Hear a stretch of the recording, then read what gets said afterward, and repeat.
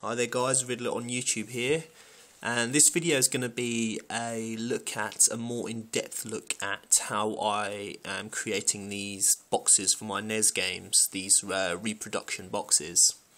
Uh, I've shown you, I've done a video about the Battletoads one and how I, you know, cut and stick it together but this is more focusing on the technical aspect of, you know, the Photoshop design and, you know, editing and everything. So piecing together the actual box. So I'll, I'll I want to show you a more in-depth look at uh, that process. So this might be a bit of a long video. So if you're interested, stick around. Alright, so um, lately I've just made a recent one, which is my Nintendo uh, Teenage Mutant Ninja Turtles or Hero Turtles box. Um, let me show you this. This is the this is the actual official original box for uh, Teenage Mutant Hero Turtles and um, this has been a box that I've been had on my site gone unavailable for quite a while and I've wanted to do it. Um, but it's been I've been putting it off because it's been so difficult basically getting all these lines and everything. And you know I'm not too up the, the program I'm using here is PaintShop Pro. And I'm not too kind of as of late I haven't been too kind of up with you know the more advanced technical details of how to use it and you know little bits inside the application. But lately, I've I've I've got my head around it, and uh, I've been able to complete and make my uh, turtles box. So as you can see on screen, here it is. This is the completed article, um, and uh, I want to show you how exactly I got to that stage from this box. Now, um, like this is this is the full. This oh my god, the tab's broken. this is the full box. This is the your actual official game, so it's it's all in here. And um, what I typically what I typically do um, on a normal box is I um, buy the game, I get the box, and I use it or I scan it into like a scanner and I upload it to my PC.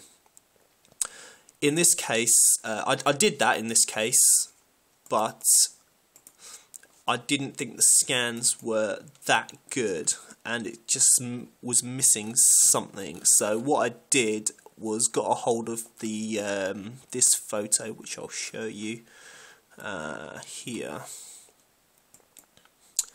Um, I got hold of this photo.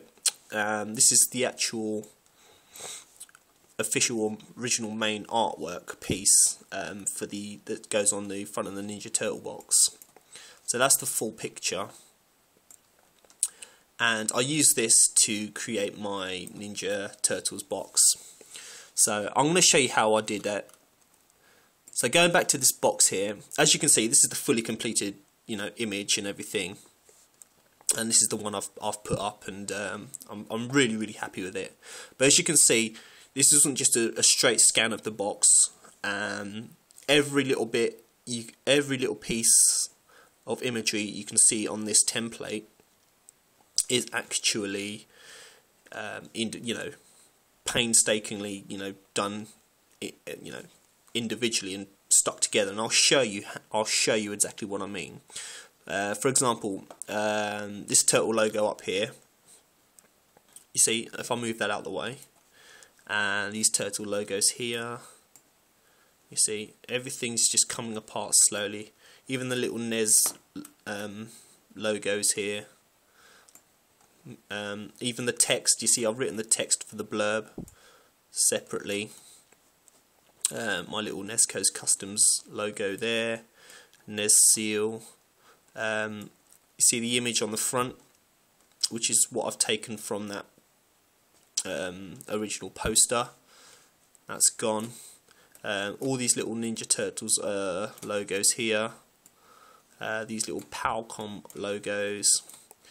Even down to these little white lines. Um, actually, let me move that back. Uh, you can see these white lines here that I've actually done separately. So again, looking at the original box, um, this is the tricky bit I had, getting all these lines and cutting this image to this uh, to these lines here that was the most difficult part but I managed to get around it. So I've done all these like separately and as you can see it's it's it's a real you know I'll start off with, a real blank template there uh, if I get all these things out of the way. Um, whoops. So it's a real just a blank NES box template that I start with, and I just construct it slowly, bit bit by bit, um, even down to the screenshots. So um, if I just undo everything, you can see it all you know goes together.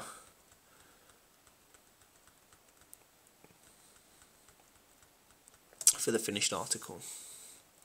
Um, so yeah, it's it's it's real painstaking work. I just wanted to show you how it was all done. It's all it was all done bit by bit, and and it's a real painstaking process. So. Um, uh, I'll give you an idea of how I um, do the screenshots. The screenshots are another real pain in the butt because they're so difficult to do. Um, the original box, when you scan them in, the screenshots, although they're nice on the box, they don't come out very well on the scanner. And you know these images here, they're not real, really crystal clear.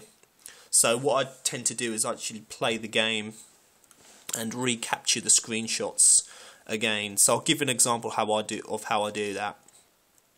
Um, so for example, um, I take one of these. I'll take one of these. Um, original screenshots from the actual box, from the scan, or the original scan of the box. Uh, I'll copy that out and I would paste it um, into a new section here so I can play with this um, and I'll, I'll mess around with that until I get something uh, which is uh, I've, I've, saved a couple frames here so I've got all my little files um, screenshot border for Ninja Turtles. So it goes to something like this basically. So I've got a little screenshot and I'll black all that out and I'll um, what I'll do for example is I'll just get a paintbrush and I'll go real slowly painstakingly and just you know black all that out all around the edges until I get something that resembles this and then what I'll do I will um, boot up the game. I'll get an emulator and I'll boot up boot up the game like this. Uh, let's go into the game here,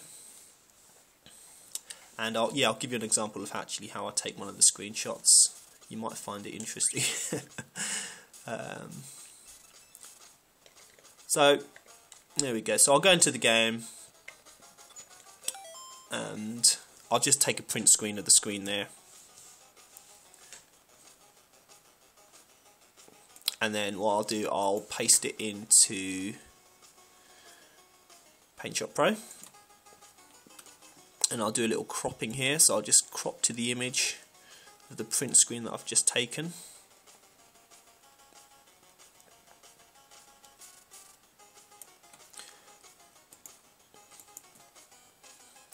there and so now I want to resize that because you um, you know the screenshot's going to be a lot more a lot bigger at the moment than the screenshot border here that I've got.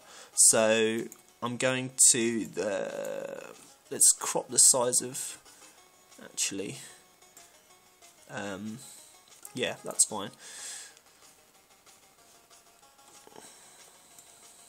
Let's check the size of this now.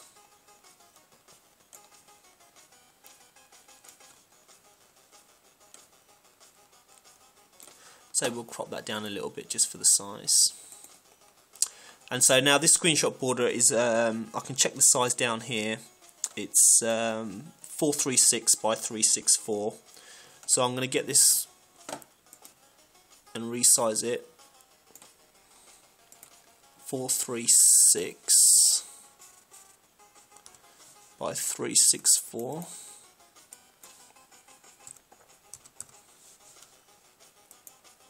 And that resizes that one here. So what I'm going to do is I'm just going to hollow out this black screenshot border here. Copy this newly taken screenshot and paste it into the space there. It's still got you can't see but it's still got the border of the selection tool that I've made in there. So if I'm gonna I'm gonna uh, I'm gonna paste that as a new layer and you can see the you know the, the actual outline of the selection tool is still there. Um, so I'm going to copy again that.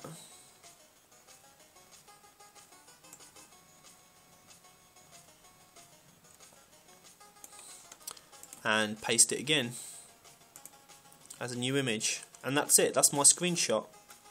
You can see it now with the nice round edges. And all I do with that is copy again and then I'll paste it on to as a new layer onto my box. And so there's my screenshot and I'll just you know paste it over or wherever I want onto the new uh, place on the box. And that's pretty much how I do my screenshots. Um, I, always do I do these text blurbs as well because the text doesn't always come out really nice so I rewrite all these um, so they're nice and fresh and when they print out they're nice and uh, you know brand new looking.